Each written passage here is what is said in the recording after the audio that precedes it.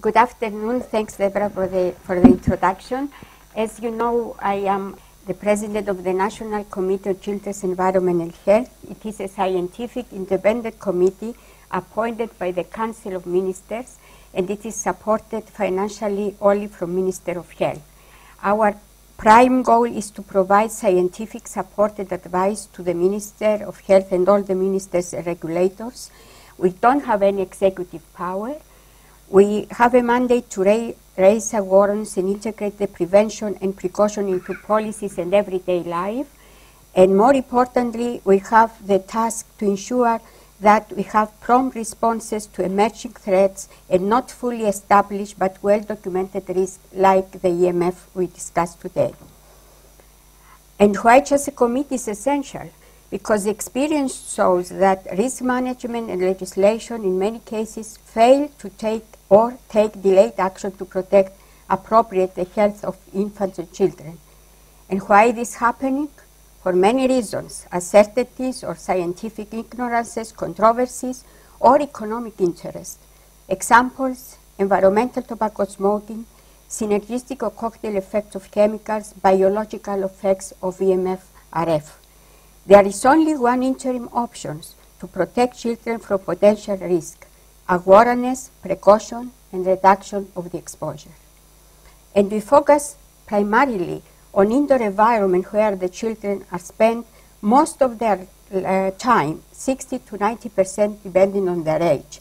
And we know that minimization of exposure and risk is mostly dependent on parents and teachers' attitudes. It is less dependent on legislative measure. So the target population for us are parents, doctors, teachers, and children, and of course media. We follow an holistic, uh, we do an, a sort of holistic intervention. First of all, we try, whenever possible, to have pilot investigation to collect information and data on Cyprus reality. This can support very much the awareness campaigns, can influence most the policy level, and can raise awareness. And of course, can be used also for media, uh, press, TV, and radio.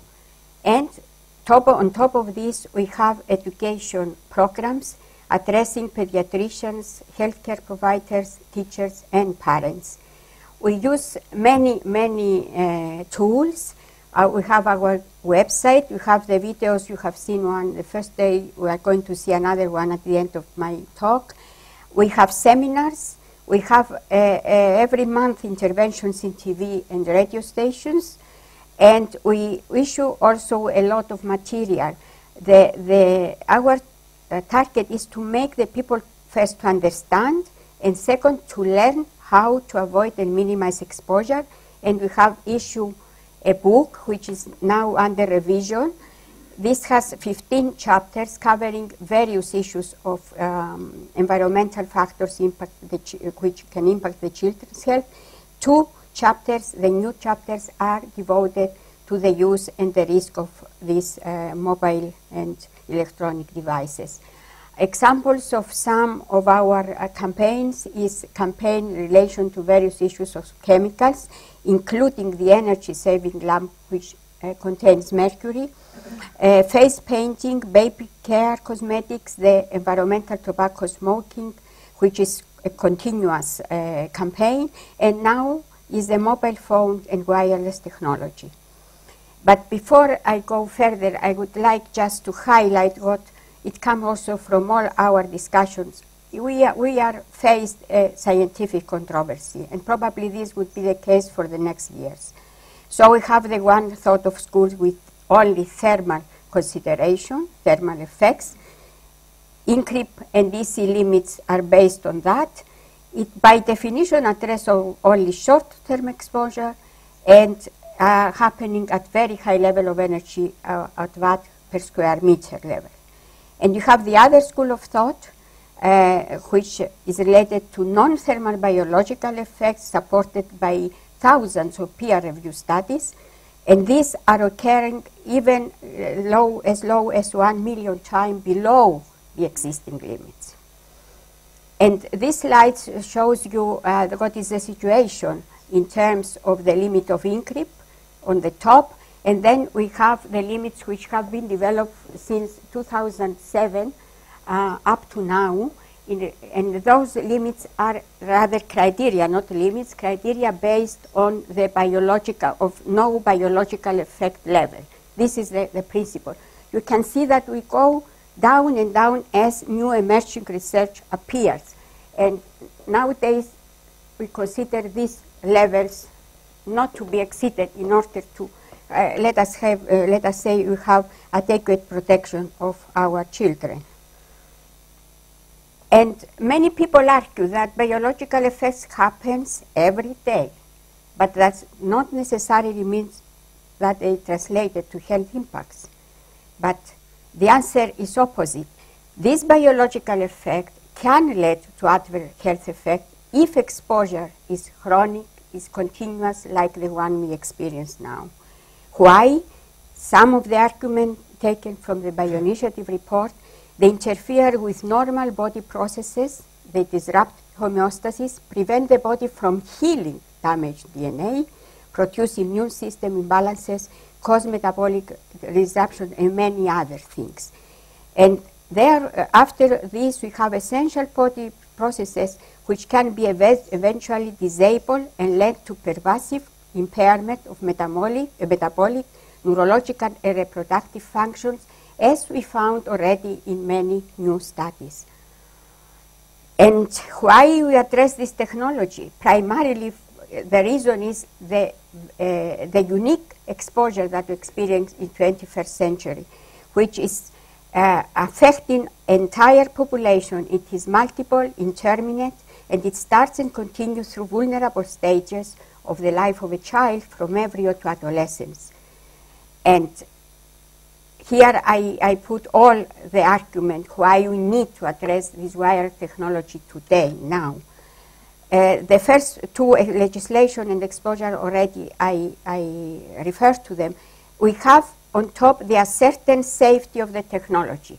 Emerging devices without pre-market testing, especially for their long-term effects on children. And then we have people who are not adequately informed about the risk and may have erroneous perception of safety of, of using this technology. Whilst on the other hand, we have good practices and alternatives to reduce the exposure. And how you are addressing this? Again, we focus on house and school for the reason I explained. We have at policy level interventions and, advi- and providing advice we have an open dialogue still, is ongoing dialogue to avoid WIFIs in the School of Cyprus with the Ministry of Education, Ministry of Health. We are happy to say that we cooperate very closely with parliamentary committees and with the Environment Commissioner in person in this. It supports very much our um, efforts. And we, on parallel, we try to train and educate the pediatricians because they are very close to the families. They can influence the families. We, we also focus on children and teachers. And we focus very much on parents. These are the most uh, difficult audience in our, uh, in our efforts, and I explain you in a minute. Uh, what we have achieved uh, one year ago is to have one uh, campaign, awareness raised to reduce exposure and protect, protect children from EMF. This campaign was launched by the Minister of Health in a press conference, and we are happy to have here uh, Minister of Education and Minister of Environment and the uh, Minister of Communication, Education, and the Environment Commissioner. And what was the outcome of this event is that everybody accept the need to protect the children, but we got strong support and committed for precautionary action by the Minister of Health, which is uh, always supporting our efforts. Key suggestions that um, we provide from our committee to the Minister of Health because we believe that we have to act now is uh, we said that we acknowledge that changing the basic legislation is very difficult and will take time. So we proposed in the meantime, based on the precautionary principle, that biological relevant criteria like the ones I have shown, be applied complementary to the existing limits, at least for the evaluation of children exposure. To promote supplementary regulation based on the model of France legislation so that we prohibit uh, Wi-Fi and mobile phones in kindergartens, elementary school at least, and put restrictions to secondary school. And to raise, uh, to strengthen their awareness campaign, and via school medical services, students should be monitored for any electromagnetic hypersensitivity symptoms. And a snapshot of suggestions in memo, an extended memo, I would say, we sent to the Minister of Education on the issue of Wi-Fi. First of all, we questioned very much the necessity of the Wi-Fi and that should be avoided. Wi-Fi should be applied only when there is no other solution and under restrictions and prerequisites. We, uh, the Minister, uh, Ministry of Education was at the point to, uh, to go to the process to, uh, for tenders to Wi-Fi all the School of Cyprus. So we ask Minister, please do a pilot implementation first, evaluate this, and based on the results, then you can make your decision. And how this pilot should be work started from the highest class with a restricted application, not a full coverage in the school, educated students and teachers on the risk. This can be should be followed by evaluation of exposure under realistic conditions and based on biological reference criteria in addition to the legal limit, do, because we know that they do not cover the effects on children. Monitoring of any symptoms of a high electrosensitivity. We still uh, are waiting for the answer on this memo, but we are happy to say that still till now the process didn't start, at least. Awareness reigns for the parents. This is a very difficult task because most of them, they have wrong perception. And we, our aim is to um, remove this, uh, correct this perception. And I will show you how we did it, few examples. We uh, work, mythos is a Greek word, but I think everybody understands what me it means. It means something which is not real, and erroneous perception versus emerging evidence. Mythos number one, when devices are working with limits of ICNIRP are safe. This is what everybody believes. And we said that these limits are not adequate and I don't go further because I already expressed what is happening. Effects of DNA. Only the ionizing radiation can affect the DNA. The reality is that we know today from a, a lot of literature and research that can EMF can destroy via oxidative mechanism, and not only, it can also affect DNA repairing mechanism like melatonin. So it's another illusion about the safety. And uh, about Wi-Fi's, because the energy emitted is relatively uh, low, they are safe. This is what people believe. And we said this, this is true, but Wi-Fi have pulses and peak of very high intensity because they transfer information. Exposure duration can be very long for some hours up to 24 hours. The user connected to a Wi-Fi can receive radiation similar as if he is at the distance of 50 to 100 feet, uh, 50 meters from a mast. The people are afraid. They don't want the mast, but they have the mast in their home. Wi-Fi can also cause passive exposure to any bystander and other non-users. In Wi-Fi in school, I like this picture taken from Wi-Fi in school in Australia. It shows how it looks in a classroom with 30 computers and routers and whatever. So each student is exposed to its, only, uh, to its own, uh, let us say, uh, exposure from his own computer, but it has also a passive exposure from all computers which are around him. This is the reality in the classroom, and this is, has never been tested. And uh, there are a lot of organizations um, uh, claiming against Wi-Fi. I just want to show what the Austrian Medical Chamber says. Wi-Fi can lead to, to, high microwave exposure and of children, children, which might increase the burden of oxidative stress which then slow down the energy production, especially in brain cells, and may lead to concentration difficulties and memory problems in certain individuals. The Austrian Medical Association recommends Wi-Fi free environment. And this is the legislation coming from, uh, from France. It's a, it's a landmark legislation, I would say.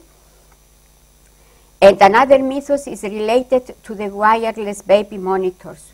This, they think, is safe, is no problem. The reality is, again, that you have a lot of radiation uh, on the head of the child, very close to its head. So there are alternatives. There are wired or analog type, but always at a distance of two meters. Basic keys to reduce exposure, keep a distance from the source, use hands-free, reduction of the exposure duration and frequency. The usage must be inverted proportional to the age of the child. Opt for wireless, not wireless. Look for schools which are wire Wi-Fi free. Deactivated all Wi-Fi, Bluetooth, 3G, 4G when not in use, when pregnant or child are nearby, and always in the night. And finally, children with existing neurological problems that include cognitive, learning, attention, memory, or behavioral problems, as well as with chronic diseases like cancer, must be provided with wired learning environment. Schools and playgrounds should not have this symbol of free Wi-Fi. Rather, we should look for schools and places where we, we see this symbol. We love children, we are free from Wi-Fi. And some final closing remarks I would like to share with you. I think and I believe after also this conference I am convinced that we know enough to apply precaution and to ensure our children's future. We must push for safer regulation adjust, adjusted to children's specificities.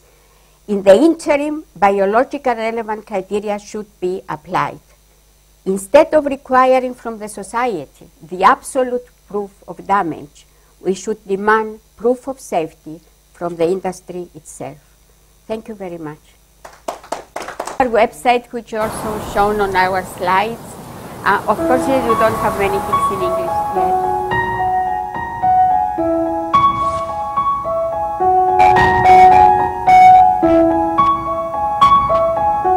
Σύμφωνα με τον Παγκόσμιο Οργανισμό Υγείας, η ακτινοβολία που εκπέμπεται από τα κινητά τηλέφωνα, τα Wi-Fi και άλλες ασύρματες συσκευές είναι πιθανώς καρκινογόνα για τον άνθρωπο. Ο πιθανός αυτός κίνδυνος είναι ακόμα μεγαλύτερος για το έμβριο, αφού αυτό αναπτύσσεται καθημερινά και είναι ιδιαίτερα ευάλωτο. Μία νέα ζωή μεγαλώνει μέσα μου και έχω ευθύνη να την προστατέψω. Έχω ευθύνη να διασφαλίσω ότι το παιδί μου θα αναπτυχθεί σωστά και θα γεννηθεί υγιές. Λαμβάνω σοβαρά υπόψη τις συστάσεις των ειδικών και με απλά και αποτελεσματικά μέτρα προστατεύω το παιδί μου από τους πιθανούς κινδύνους. Περιορίζω σημαντικά την χρήση του κινητού τηλεφώνου και έχω απενεργοποιημένες τις προσβάσεις στο διαδίκτυο. Όταν χρειαστεί να το χρησιμοποιήσω, το τοποθετώ πάντα μακριά από την κοιλιά μου. Χρησιμοποιώ ενσύρματη σύνδεση στον υπολογιστή μου για να έχω ασφαλή πρόσβαση στο διαδίκτυο. Αποφεύγω την παθητική έκθεση κρατώντας αποστάσεις από αυτούς που χρησιμοποιούν κινητό τηλέφωνο ή άλλες ασύρματες συσκευές.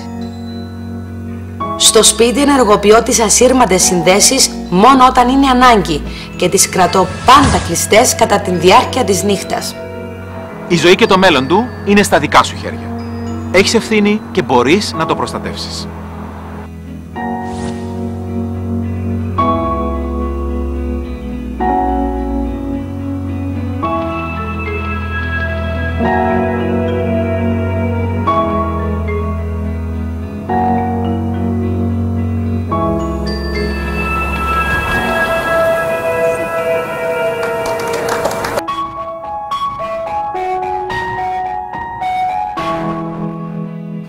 Παιδιά μας εκτίθενται καθημερινά σε ένα ηλεκτρονικό νέφος το οποίο δημιουργείται από την ακτινοβολία που εκπέμπουν τα κινητά τηλέφωνα, tablets και οι συνδέσεις μέσω Wi-Fi και άλλα παρόμοια. Η ακτινοβολία αυτή, σύμφωνα με τον Παγκόσμιο Οργανισμό Υγείας, είναι πιθανώς καρκινογόνα για τον άνθρωπο. Σύμφωνα με νεότερες έρευνες, η ακτινοβολία αυτή είναι πιθανό να προκαλέσει και άλλες σοβαρές επιδράσεις στην ανάπτυξη και λειτουργία του εγκεφάλου, του αναπαραγωγικού και άλλων συστημάτων του εμβρίου και του παιδιού, να προκαλέσει καταστροφή των νευρικών κυτάρων και του DNA, διάσπαση της προσοχής, διαταραχές στη μάθηση και άλλες νευρολογικές παθήσεις. Τα παιδιά είναι πολύ ευάλωτα.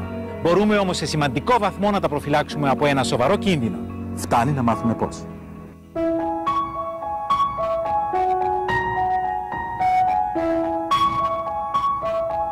Αφού μας αγαπάτε, γιατί μας ακτινοβολείτε με τα Wi-Fi και τα κινητά σας τηλέφωνα; Έχουμε δικαίωμα στην υγεία και πρώτοι εσείς μπορείτε και πρέπει να μας προφυλάξετε. Στη βάση της αρχής της προφύλαξης, το Συμβούλιο της Ευρώπης, το Ευρωκοινοβούλιο, επιστήμονες, ιατρικοί και εκπαιδευτικοί σύλλογοι στην Ευρώπη συμβουλεύουν ότι θα πρέπει να μειωθεί η έκθεση των παιδιών στην ακτινοβολία που εκπέμπουν τα κινητά τηλέφωνα, tablets και οι συνδέσεις μέσω Wi-Fi, ιδίως στο σπίτι και στο σχολείο.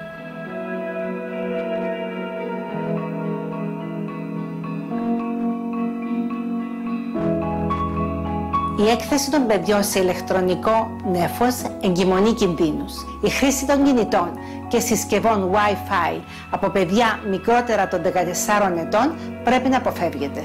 Προφυλάξτε την υγεία και το μέλλον των παιδιών σας. Το ίδιο ισχύει και για την έγκυο. Οι έφηβοι ποτέ δεν βάζουν το κινητό στο υπνοδωμάτιο τους, στις τσέπες τους, στα μπράτσα ή κοντά στο στήθος τους. Πάντα χρησιμοποιούν hands-free και κρατούν το κινητό μακριά από το σώμα τους. Αξιοποιώ την τεχνολογία σωστά. Γνωρίζω τους κινδύνους και δεν εξαρτώμαι από αυτή. Χρησιμοποιώ ενσύρματη σύνδεση για τον υπολογιστή του σπιτιού μου και ενεργοποιώ το Wi-Fi και τα δεδομένα κινητής τηλεφωνίας μόνο όταν χρειάζεται και ποτέ όταν τα παιδιά μου είναι κοντά. Δεν χρησιμοποιώ κινητό τηλέφωνο στο αυτοκίνητο όταν τα παιδιά μου βρίσκονται σε αυτό. Η έκθεση στην ακτινοβολία είναι πολύ μεγαλύτερη. Προστατεύω πάντα τα παιδιά μου. Η Γαλλία ήδη με νόμο απαγόρευσε τη χρήση Wi-Fi σε παιδικούς σταθμούς και σε χώρους όπου φιλοξενούνται παιδιά κάτω των τριών χρόνων. Επιτρέπει ελάχιστη χρήση στα σχολεία κάτω από αυστηρούς περιορισμούς.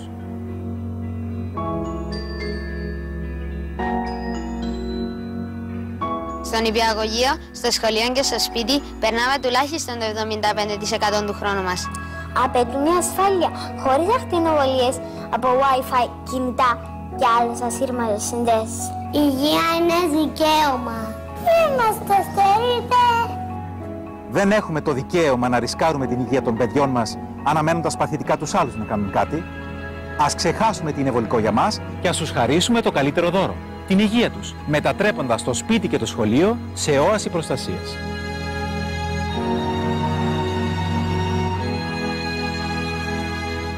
Το σπίτι μου είναι όαση αγάπης και ασφάλειας. Σβήνω τα Wi-Fi και άλλες ασύρματες συνδέσεις όταν δεν χρησιμοποιούνται και κυρίως όταν τα παιδιά είναι στο σπίτι και τα κλείνω πάντοτε το βράδυ. Αξιοποιώ το κουμπάκι on-off. Είναι τόσο απλό να μειώσω το χρόνο αχρίαστης έκθεσης. Επενδύω στην υγεία των παιδιών μου μακροχρόνια. Η ζωή και το μέλλον τους είναι στα δικά μας χέρια. Δώστε στα παιδιά ένα μοναδικό δώρο ζωής. Την υγεία τους.